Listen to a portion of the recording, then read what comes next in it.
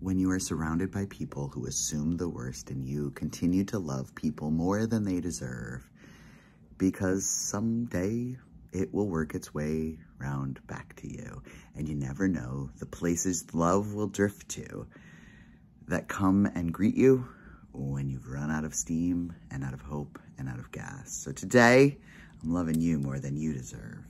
Take care, beloved.